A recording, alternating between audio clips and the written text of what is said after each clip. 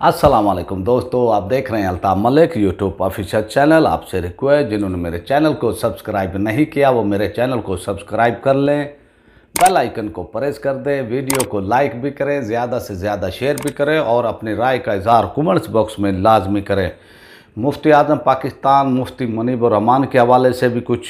बात करूँगा। इसी तरह तहरीक लब्बैक के सरबरा जनाब साद हुसैन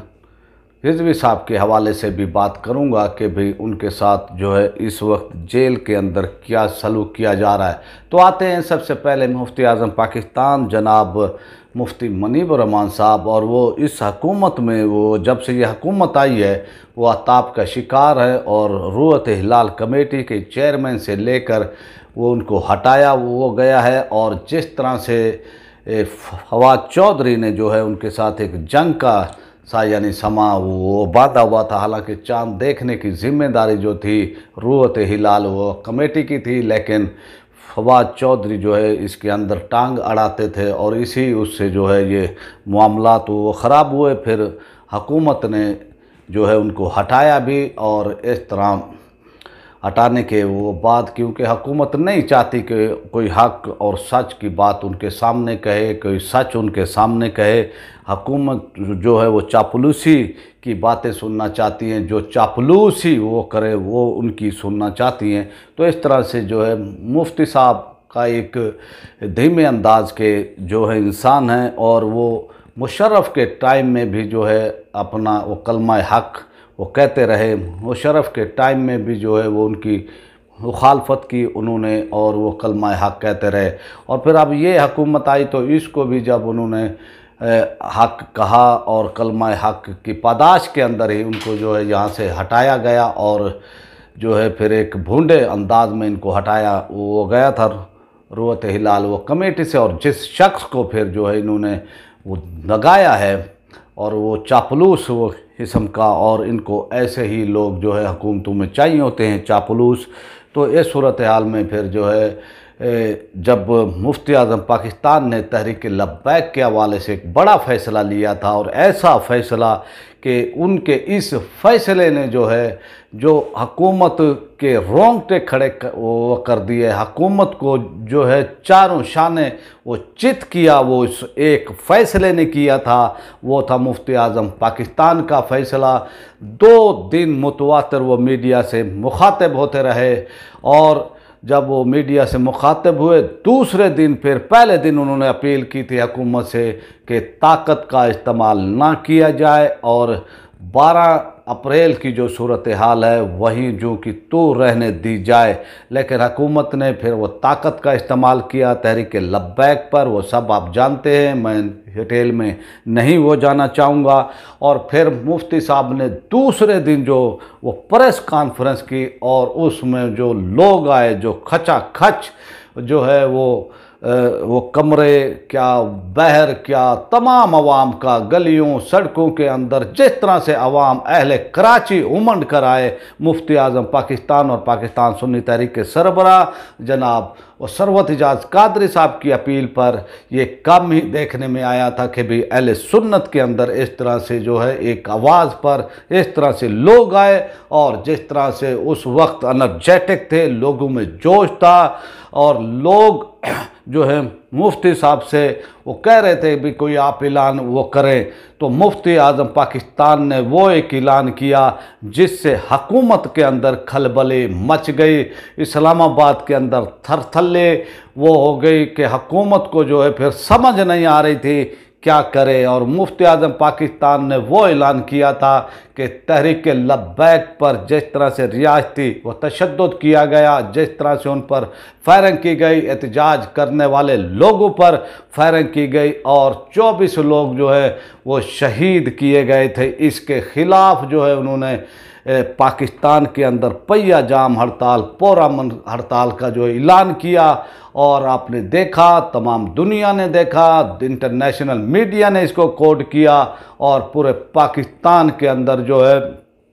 पुरअमन जो है हड़ताल हुई और लोग इस हड़ताल के अंदर जो है, वो शामिल हुए और वो खुद शामिल हुए, तमाम जो कि हर मकतबा फ़िक्र के जो भी लोग थे, उन्होंने ऐलानात किए, ताजरों ने ऐलानात किए। किसी भी, यानी वो शोबे के लोग थे, उन्होंने इस हड़ताल के अंदर शामिल होना अपने लिए सादत समझा। और यही मुफ्ती आज़म पाकिस्तान का जुर्म वो बना, और इसीलिए कि हकूमत के ऐवानों के अंदर एक जलजला आ गया था उनकी इस बात से, और फिर हकूमत को जो है पीछे हटना वो पड़ा था कि भी तहरीक लब्बैक को उन्होंने सोच दिया था, हुकूमत ने ताकत इस्तेमाल करके मलिया मेट वो कर देना है, तहरीक लब्बैक को, लेकिन मुफ़्त आज़म पाकिस्तान जनाब मुफ्ती मनीब रहमान साहब के इस फैसले ने जो है यानी हकूमत को जो है झुकने पर मजबूर किया था कि वो ताकत इस्तेमाल ना करे और अपने इकदाम से पीछे हटे। तो फिर हकूमत से एक माहदा हुआ तहरीक लब्बैक का, और ये मामला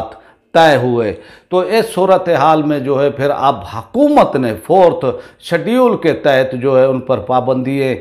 लगा दी हैं और उनको अब तंग भी किया जा रहा है और इस अंदाज में उनको तंग वो किया जा रहा है कि जो फोर्थ वो शेड्यूल है, हालाँकि एक ये सियासी टूल यानी हुकूमत ने वो बना लिया है और अब मैं ये समझता हूँ कि हमारे chief justice of Pakistan Gulzar Ahmed Khan को जो है अब ये चाहिए कि वो इस पर सो मोटो नोटिस ले कि हुकूमत जिसको चाहती है, उनके ऊपर दहशत गर्दी के तहत मुकदमात वो बना दिए, वो जाते हैं। हालाँकि ऐसे मामला होते नहीं है और इसी वो तरह जो है ये फोर्थ वो शेड्यूल का है, इस पर जो है वो फैसला उनको वो करना चाहिए और हकूमत को जो है ऐसी हिदायत देनी चाहिए कि कौन कौन, हालाँकि मुफ्ती आज़म जो है पाकिस्तान एक पुरान वो शख्सियत, धीमे मिजाज की वो शख्सियत और अब उनको जो है इंतकाम का निशाना वो बनाया जा रहा है और हकूमत यानी हर किसी को जो है इंतकाम का निशाना जो है वो बनाने की वो कोशिश वो कर रही है, लेकिन ये इकतदार की चकाचौंध, ये चंद दिन है, फिर जो है उनको जब वो इससे उतरेंगे, जो इनको नशा इकतदार का वो चढ़ा हुआ है, वो उतरेगा तो फिर इनको जो है लग पता जाएगा। इसी असना के अंदर जो है सबक वो जर्नल हमारे और नैब के वो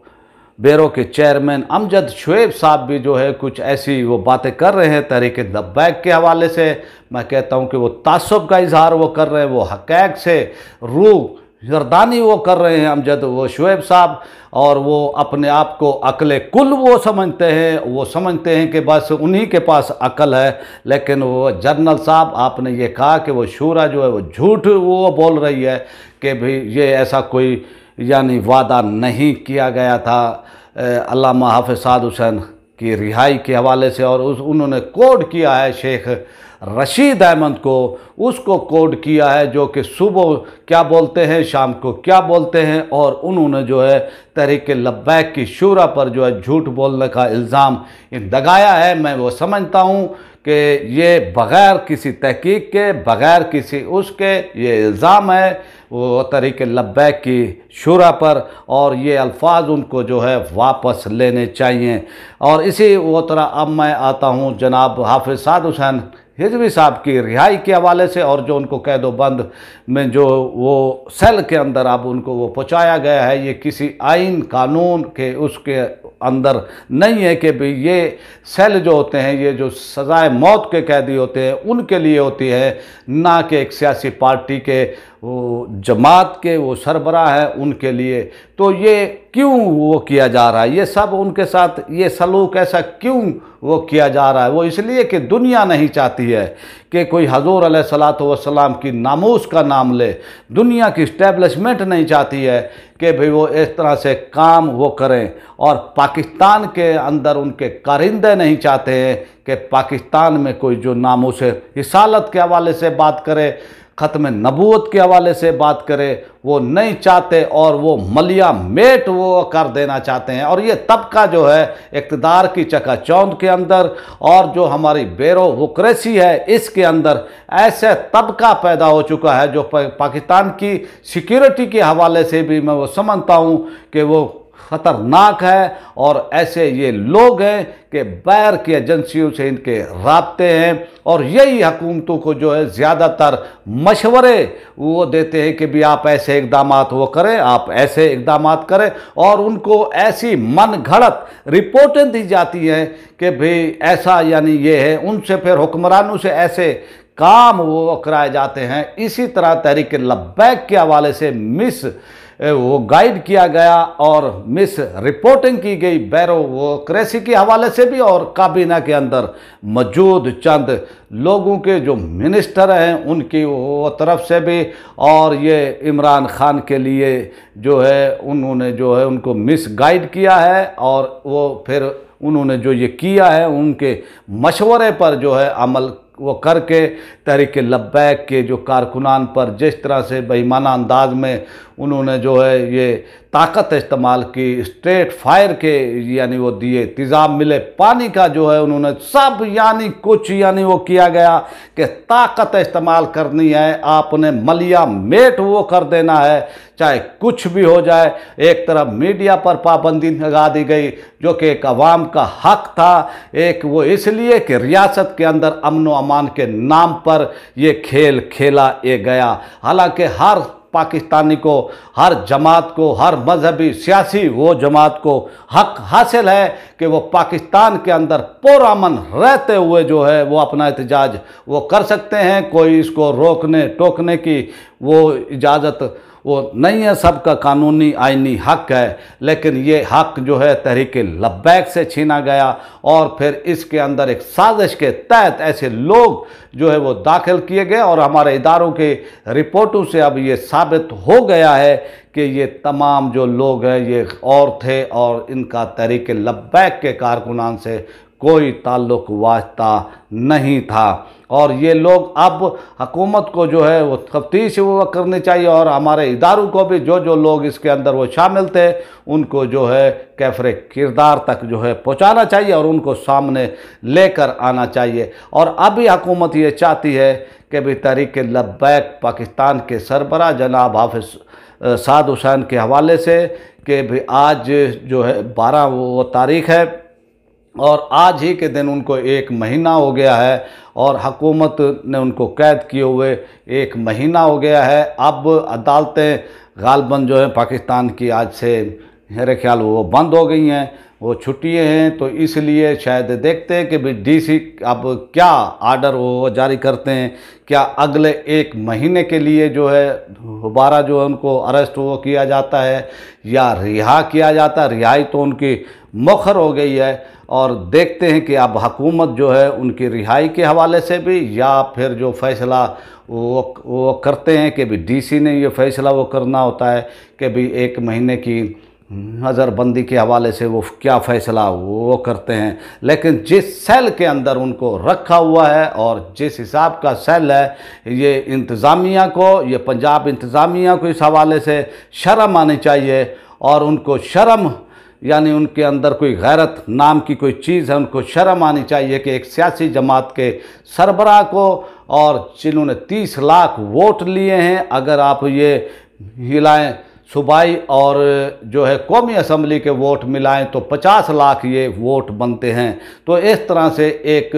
बड़ी जमात के सरबरा के साथ इस तरह का सलूक जो है जेब नहीं देता। लेकिन ये सलूक क्यों किया जा रहा है? ये सलूक इसलिए किया जा रहा है कि हजूर सलाम की नामूस के लिए उन्होंने आवाज़ उठाई है। उन्होंने ख़त्म नबूत के हवाले से जो है आवाज़ उठाई है। इसलिए उनको इंतकाम का निशाना बनाया जा रहा है। लेकिन ये इकतदार में रहने वाले लोग ये भूल वो गए हैं। ये भूल गए हैं कि भाई ये हथकंडे, ये ओछे हथकंडे जो है किसी को राय हक से नहीं हटा हो सकते। अब आपसे चाहते हैं इजाज़त, आपसे रिक्वेस्ट है कि आप मेरे चैनल को सब्सक्राइब करें, बेल आइकन को प्रेस कर दें, वीडियो